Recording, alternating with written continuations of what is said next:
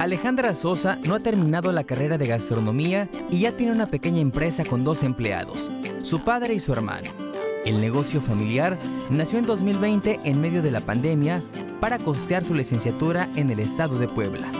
Eso fue para seguir pagando mi colegiatura y agradecida porque de hecho va saliendo bien. O sea, se ha podido con eso pagar mi colegiatura y estoy bastante feliz de eso. O sea, de que ya este negocio que empezamos es el que ha podido pagar mis estudios. La imagen de su padre recorriendo el bulevar costero de Veracruz con una hielera en la mano donde lleva los brownies de su hija ya es conocida por muchas personas. Un gesto que le ha valido el reconocimiento de muchos clientes y en especial el de sus hijos. Pues mi papá nos apoya mucho, la verdad, en eso es como inició él.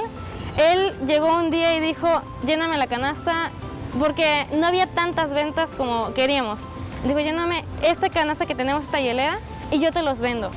Y yo, yo me quedé, la verdad, sorprendida, porque no me lo esperaba. Entonces se la llenamos y se fue a vender. Al inicio nos daba pena, y de ahí nos acercamos como que a una, a una persona, y nada, a otra, y gracias, gracias. Y, a una, y de ahí a una tercera, y sí, yo creo que lo más complicado es, se podría decir que empezar, o sea, llegar ahí. Y vencer ese paso ahora los tiene llenos de seguridad y muchos proyectos. Así que una vez que Alejandra concluye sus estudios, harán que Dulce Queque sea una pastelería reconocida.